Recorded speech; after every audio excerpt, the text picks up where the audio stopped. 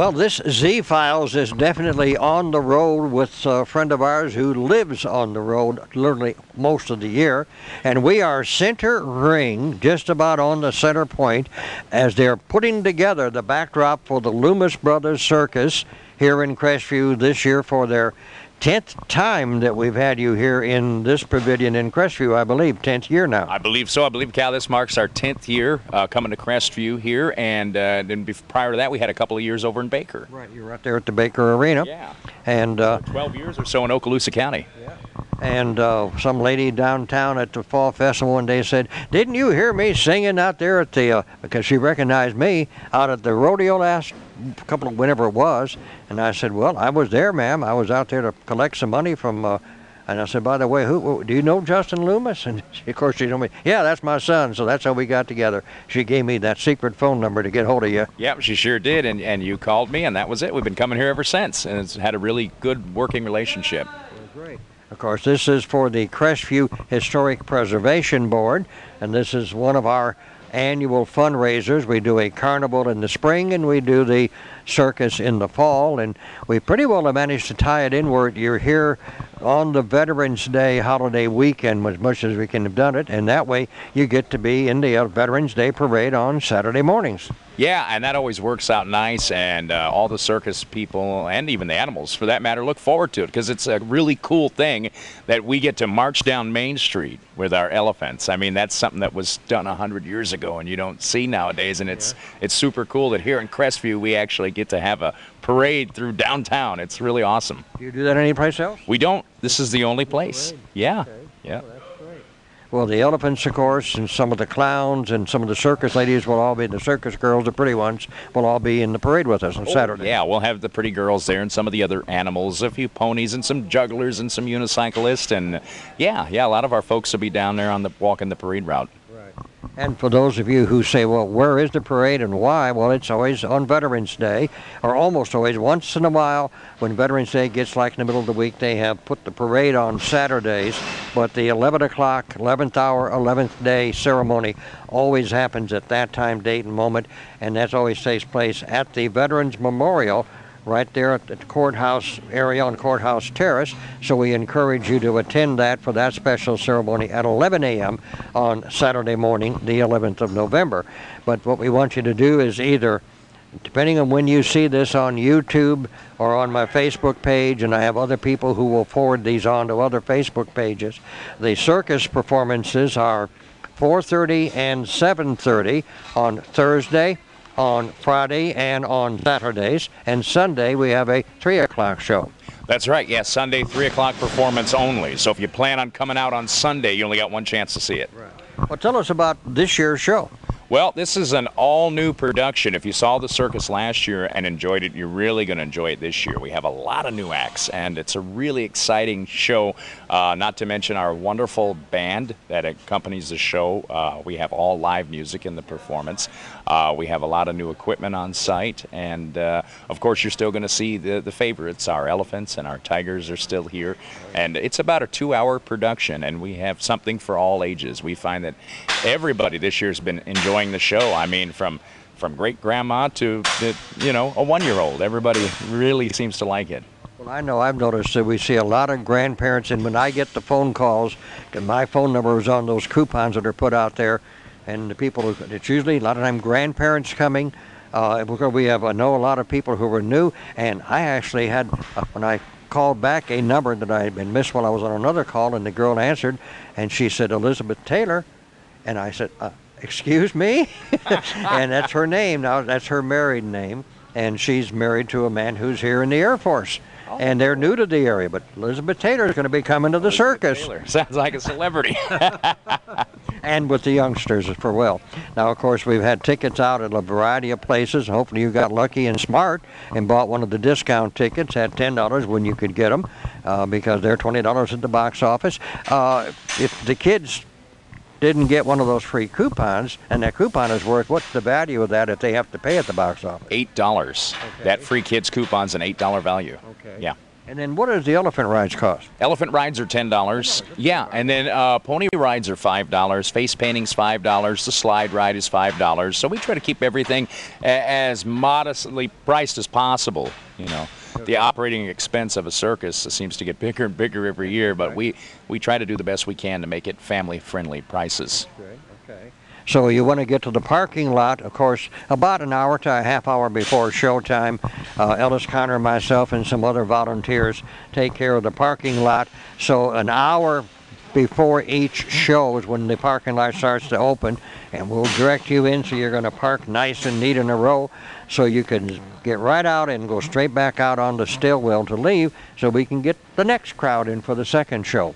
Uh, of course, you, the, the, tiger, the elephant show is one of your great hallmarks, and in this world of all of this people fussing about things, uh, you're one of the few circuses maybe left in the country that has uh, some major animal acts. We are, yeah. There's very, very few. I mean, we're, we're maybe one of two, you know, or three left in the United States. Yes, that still travels, and we're the only circus that has a live band, three rings, and all the animals. You won't see that anywhere else but here. And you don't use a big tent because those are pricey and expensive, and that would change the price of tickets. Yes. But fortunately, you have places like Crestview, and I know Andalusia. You've got an indoor facility there, and I know you do. You use fairgrounds in many places. Uh, but here we're underneath this pavilion, and we're sitting right out here now, and you can you'll hear the noise. We're we're doing this video on. This is Wednesday evening, I believe. Right, right, Wednesday evening. So when you get here, all of this will be all fixed up. All the banners will be up. Uh, you've got a new kind of a backdrop and sign with some lights and stuff on it for this year. The whole uh, the whole back door curtain behind us is new, and we have uh, some new floor mats and new circus rings and uh, a lot of spiffy stuff this year that we haven't had in the past because this this marks our 20th anniversary of Loomis Brothers Circus. So uh, we wanted to. You know, make the show look a little better this year for our 20th anniversary tour. So we've added a lot of new equipment. And we've had ten of those last the last ten of those twenty years here. Yes, that's right. You sure have. Yeah, yeah. You have got you've not gotten any older either. I tell people, you and I look like we're just as young as we were. Yeah, yeah, we haven't changed much, which is a good thing. Now, in addition to the Tiger Show and the Lions, uh, you've got a poodle act this year. Yes, we do. We have a great poodle act uh, brought to us by the Bells family, is their name, and uh, it's a husband and wife and their little boy, and they do a fantastic job. And the, the poodles are just gorgeous. They have beautiful poodles, and uh, the kids are going to love it. I mean, they do every trick in the book, and it's really a cute act, really nice. I see a few people I know that I can recognize this one guy when he came in this afternoon. He was the early bird getting here with his RV unit. Uh, this must be part of the aerial acts. Yes, yes, he is. Yep, he's part of the aerial acts. Uh, actually, uh, this particular gentleman that's hooking up the cables right now, his daughter hangs by her hair. So a really unique act. You don't see that too often, and she gets pulled all the way up to the ceiling just by her hair alone, And does all this twirling and does a lot of tricks while she's up there. Got Yeah. a clown act, of course. Oh yeah, yeah. We have Melvino the clown. Uh, he has not been with us for several years now, but he's back this year after quite a long hiatus. He was with another circus company, and then uh, called us up and wanted to see about coming back to Loomis Brothers. So we invited Melvino back, and uh, he's a favorite of all the kids, and and uh, he does a real good job at entertaining. He's a He's not a, a scary clown. You know, as soon as they walk up, is your clown scary? They see Melvino, and they're like, no, he's not. No, he's not scary at all. Yeah, he's he's a good, really good clown. Very good working with the children and everything. Yeah. And uh, okay, what else have you got in the way of the different acts? Uh, also, uh, we have a fantastic Rollabola act this year. Uh, this kid is great. He balances on six cylinders. I mean, he's like eight or nine feet up in the air on a little piece of wood and all these rolling cylinders. It's pretty amazing. And also, we have a teeterboard act, which is brand new this year. And these acrobats, uh, it's a whole family of acrobats. They do a somersaults in the air on something that looks like a seesaw. We call it a teeterboard.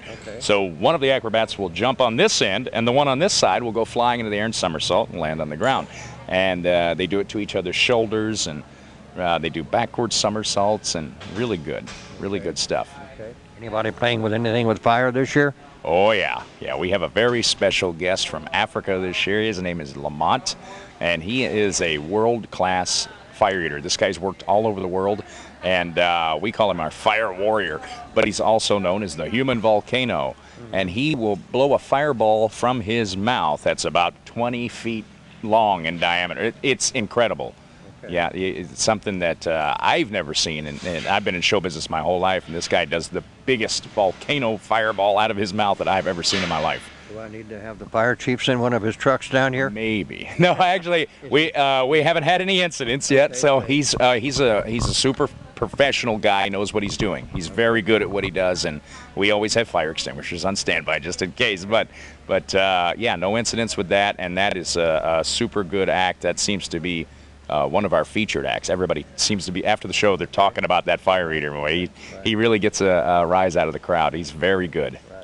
And what I will do is I will shoot a little bit of video that you're going to see in the background while Justin and I are talking. You'll see that the bleachers are right here, right close. People say, well, we're we going to be far away or hard to get seats? And I said, no, it's all close and friendly. And the, and the kids very often wind up sitting right down there when the, especially when the little dog acts and the other kid, the real kiddie kid type of shows are going on. Yeah, they can come sit right on the floor, right in front of the circus ring here, and get a real close view. That's the one of the uh, great things about the pavilion here at Old Spanish Trail Park is uh, you're right up close to the action. You're not going to sit in the nosebleed section where you're not going to see the circus. No, here you're you're not more than what eight feet from the circus ring, maybe.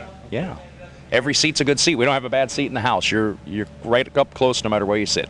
I know we've talked about this, and it's been several years since we did a Z Files interview and talked about how you started out. I know your mama told me something about now you had your dad was in the circus, and My that dad was in the you- circus. So you've got a family connection. Yeah, yeah, of sorts. Uh, my father was in the circus when he was a young man, and he loved the circus. You know, that was one of his passions. He didn't make a lifelong job out of it, but the time he did spend with the circus in his youth, he really enjoyed it. So, growing up as a child, I was always around it. We were always around circus people and around shows, and and uh, I got a job in the circus as, as a very young man. And we go on the road in the summertime when I was a little kid, and and I learned every aspect of the business. And between me and my dad, we got this thing going 20 years ago. Yeah.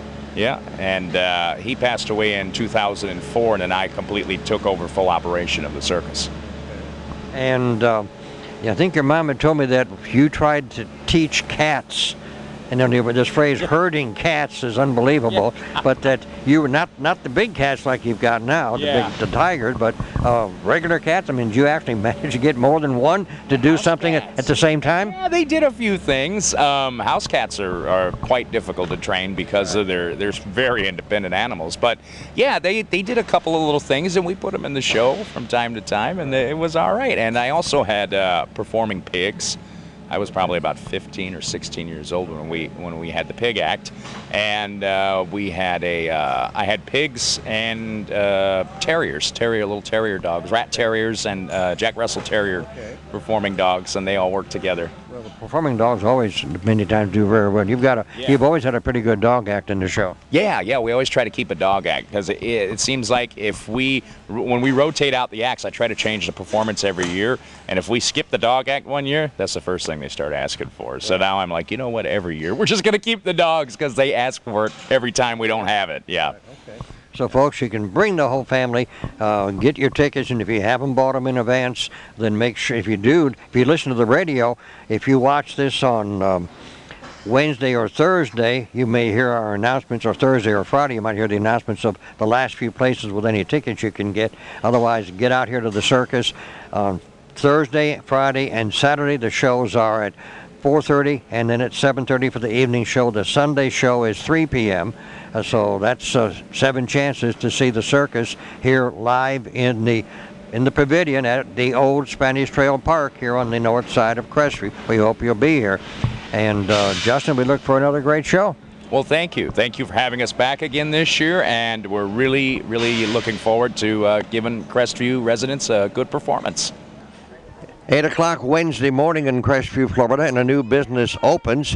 They've been in this city and county for a while, our Publix supermarkets. Now they're on the north side of town. Dwaine Stevens handles uh, media community relations events for Publix. I guess you're out of the Jacksonville office. I am, sir. My base is the Jacksonville Division, and you're right. Uh, Crestview has been a wonderful city to us. We've been in uh, the city for some time now, and so we're very pleased to bring a second location to Crestview. Uh, the, the city of Crestview has embraced us for a number of years, and we embraced them back. So we're very excited about this morning's opening, and we're looking forward to serving this part of the community. I'm sure that somebody's done some traffic counting and they've been out here in the evening and discovered there's a lot of cars on the road at this end of the city, along with the 56,000 to come under that I 10 bridge 24 hours a day. I mean, you're absolutely right. There's a lot of study that goes into before we make an investment in the community. Crestview continues to grow. We want to be a part of that growth. And again, that's why we have uh, another investment in Crestview. We want to be part of the community. We want to be involved in the community, and so we also want to serve this community. So again, we're here this morning, and we're excited about that opportunity.